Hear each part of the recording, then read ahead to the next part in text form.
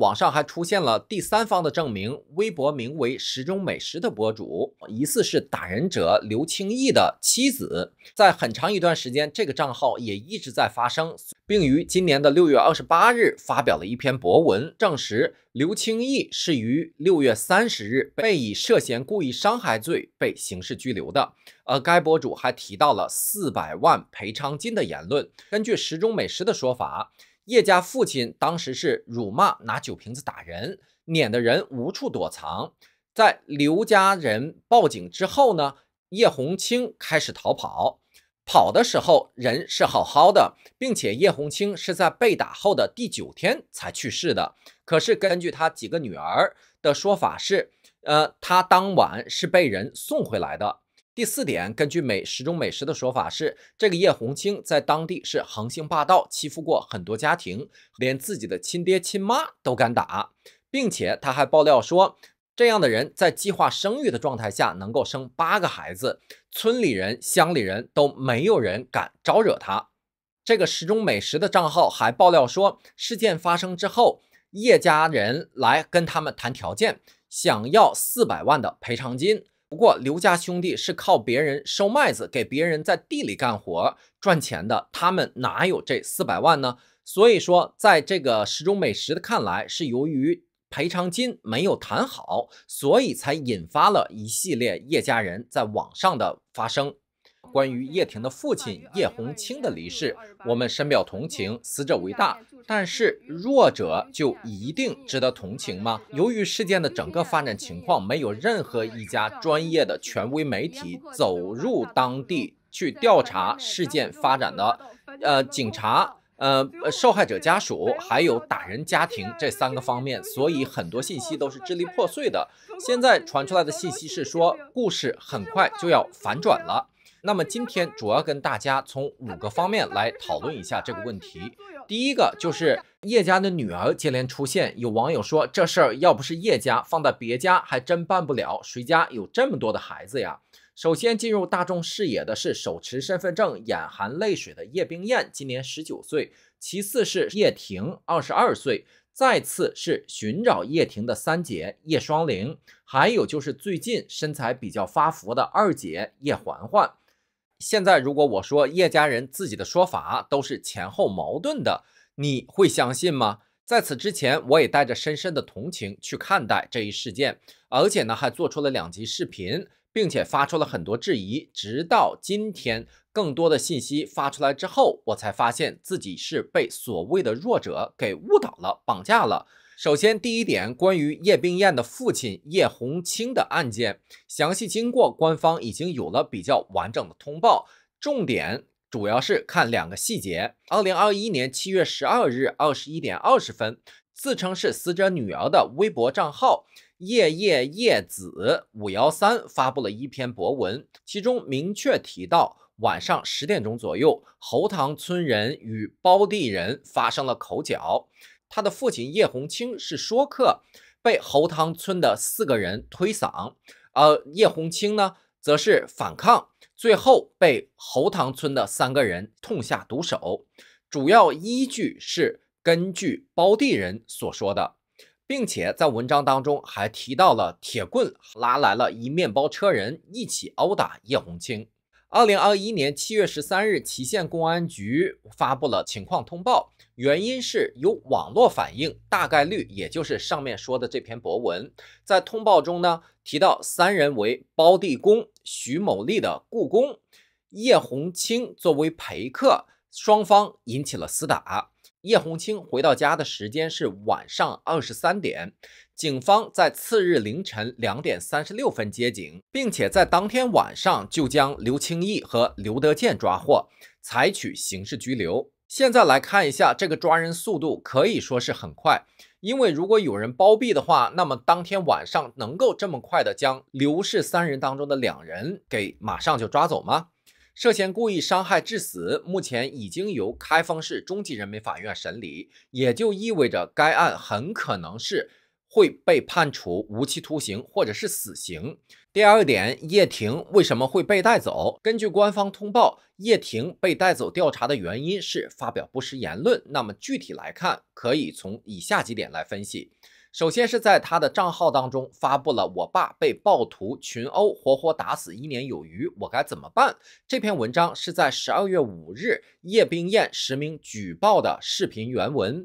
对比一年前叶叶叶子五幺三发布的博文，可以看出，呃，有一些明显的改变，比如说将厮打反抗说成了是殴打，大打出手。而打架的时间也由晚上的十点改为二十点，将死亡时间是七月七日给隐藏掉了，并且一口咬定刘青燕参与其中，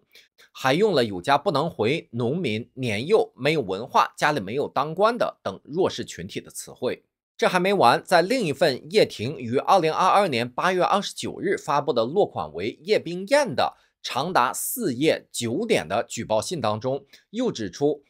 警方没有将凶器调查清楚，涉嫌故意杀人。村支书侯某等也参与到整个打架事件当中，并且从他晒出的证据——死亡医学证明推断书中，死亡的原因被注明是被别人殴打、踢、拧、咬或者是咬伤。因此，也有网友推断说，这种死亡推断书是保密的信息，一般的家属是不可能拿到的。所以呢，就有人怀疑说，叶家难道真的是像他们表现出来的那样，家里真的是没有人、没有文化、没有当官的吗？并且有人提出怀疑说，他们是不是已经知道法院的审理跟自己的预期不一样，所以才会在网络上发声，乃至影响量刑和赔偿？而叶婷被带走，显然是因为她在抖音账号上发布了大量疑似与警方侦查不相符合的不实信息。那么，现在网络上出现的叶家人究竟是通过一些什么样的方式来误导大众呢？首先，叶家人的第一波操作，网传的两篇举报信文章，从内容和落款来看，分别是写于七月七日、八月二十九日。十二月五日，叶冰燕实名举报的视频开始在网络上疯狂传播。据此推断，是叶家人在相关的举报文书没有被受理的情况下，所以才采取了网络举报的方式，想要引起舆论的关注。要知道，叶红青的案件已经进入了中级人民法院的审理程序。有人说呢，这样的审理速度其实已经不是特别慢的了。只是呢，还没有宣判，但是具体的案件细节，按理说家属是无法掌握的。叶家人能够掌握的信息，就是刘青岩还有村支书肯定没有被拘留或者是羁押，这就与他们出的诉求出现了矛盾。于是呢，在案件还没有开庭审理之前，他们想要借助舆论对整个情况进行施压。叶家人的第二波操作。是十二月六号左右，也就是叶婷发布叶冰燕实名视频备受关注之时，疑似叶家人发布了一则寻人启事。这则寻人启事呢，一枚照片，二枚体貌特征。文中说被祁县的七八名男子夺走手机，强行带走。大家看到后的第一反应，肯定都是想到说举报人疑似遭到了黑恶势力的这个反扑，所以呢，就开始同情心泛滥。在六日到七日的整整一天时间当中，大家都以为这个举报人叶冰燕失联了，大家再次加重了有黑恶势力存在的质疑。直到七号晚上，根据九派新闻的报道说，叶婷在公安局。那么叶家人的第三波操作是叶婷被带走之后，叶家人到底知不知道他是被谁，因为什么原因被带走的呢？因为按照相关的要求，对于犯罪嫌疑人实施传唤、拘传，一般不超过十二个小时，最长不超过二十四小时，而且需要在规定的时间内通知家属。在这里，我们来重点看一下一个名为叶冰燕本人的微博账号，以及疑似其亲属账号发布的微信截图。从叶冰燕本人的发文中可以看到，叶婷的同事首先联系了叶家人。而后，叶婷通过陌生电话说了自己在派出所，而隔天，他的三姐去了县信访办，没有能够见到叶婷。后面指出，十二月九日这个日期应该是打错了，应该是十二月八日，公安局联系要将叶婷送到监护人的手里，而在微信截图显示的时间是星期三十六点二十二分，也就是十月七号星期三十六点二十二分。从 A 老四的对话当中可以判断。这个名字就是叶婷，这说明叶婷在七号的时候已经可以用自己的手机与家人联系了，并且还有网上的这个照片。从照片的背景当中，我们严重怀疑他当时其实是在警察局的时候，还用一种得意洋洋的口气在跟家里联系。而联系叶冰燕的发文，叶家人应该也是在六日的当天就接到了叶婷在派出所的电话。我们不禁要问叶家人，既然是早早知道叶婷被警方带走了，相信也知道是因为发布不实视频被带走的，为什么叶家人一直不发文澄清呢？是不是故意隐藏对自己的不利信息，引导网友的无端揣测呢？叶家人的第四波操作，十二月八日，祁县联合调查组发布官方通报，证实带走了叶某婷。当晚呢？网上有人直播叶婷一家在大街上跪地喊冤的视频，并且迅速疯传。次日凌晨，叶冰燕本人、叶叶叶子、五幺三分别发文叙述整个事件的经过。在这里呢，又出现了出入。比如说，叶冰燕本人的说法是晚上八点左右联系的，双方约定在他们订的宾馆，并需要自己母亲的签字。而叶叶叶子五幺三的说法是当天下午就接到了电话，通知家属被取保候审了。但两篇文章都是一口咬定叶婷被迫签了保证协议，叶婷出现了精神异常。叶婷跪地哭诉、大喊大叫、扇耳光、脱裤子等举动，是不是又让吃瓜群众刷了一波同情，再次加重了对黑恶势力保护伞的质疑呢？叶家人的第五波操作，十二月八日左右，叶婷二姐叶环环又发布实名视频，对官方的回应提出了质疑，称其父还在殡仪馆，案情没有任何进展，并且再次强调刘青岩还是逍遥法外。